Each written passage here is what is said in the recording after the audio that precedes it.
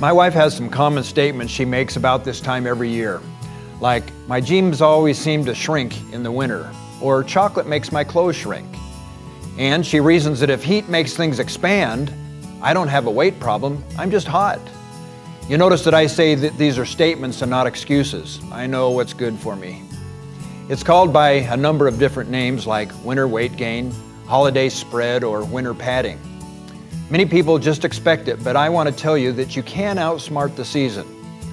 So what's behind this seasonal corpulence? Well, one thing is that the winter, we usually spend more time on the sofa watching TV than we do at the park or at the beach.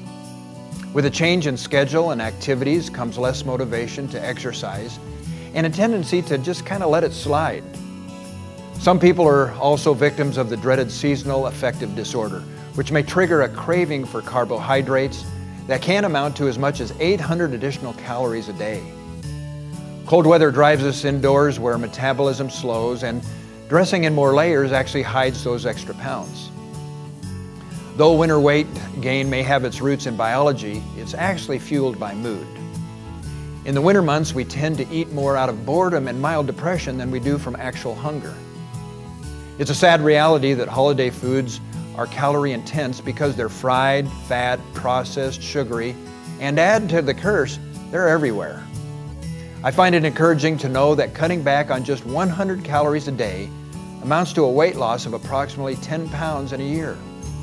In winter, levels of melatonin increase in our system, making us more drowsy, and can increase our appetite, making us prone to emotional eating. With less exposure to sunlight, we have lower levels of vitamin D, which reduces the body's ability to break down fat. So what's the solution to this weighty problem? Is it inescapable? And what can we do about it? The key is to stay active, eat quality, not quantity, and elevate your mood by getting some sunlight.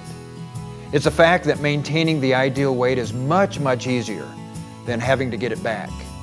It's a principle of physics that coasting requires less effort and energy than accelerating. So don't allow yourself to slip too far. Now let me share with you a few non-scientific suggestions that have worked for others. Eat before you're really starving, which keeps you from craving, gorging, and binging.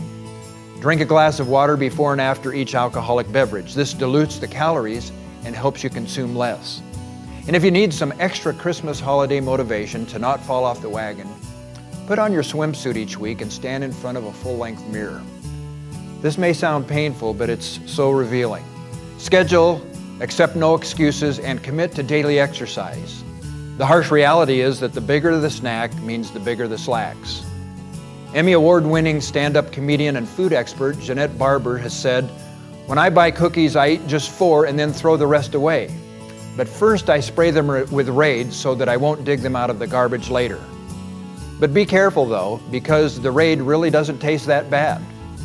Now go out and enjoy your winter holidays.